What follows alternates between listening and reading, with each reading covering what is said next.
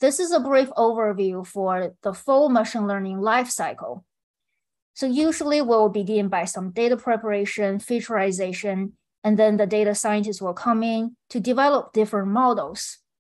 And here you can see MLflow is greatly helping starting from the model development phase. We can help log those parameters, metrics, metadata in a programmatic way, and we can push the model to different stages from your dev to staging to production. And eventually it will help with the deployment and model serving as well. There's a MLflow tracking server. So I can easily store the parameters, metrics, artifacts, including like model or even a image or some CSV files, metadata and model information on here. I can connect it through notebooks, some local apps like Jupyter Notebook, and also some cloud jobs.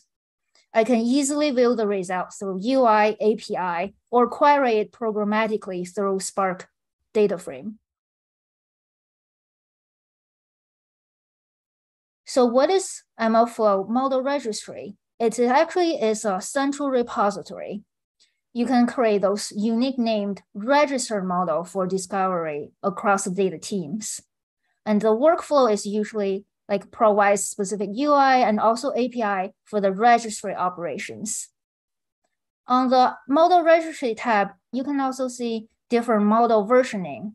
You may sometimes change the model by just a little bit, like uh, some parameter change. So you can see model version one, two, three.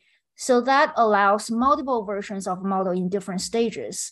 You can push your model transition from none to staging to production or archived. It's also great with CI CD integration.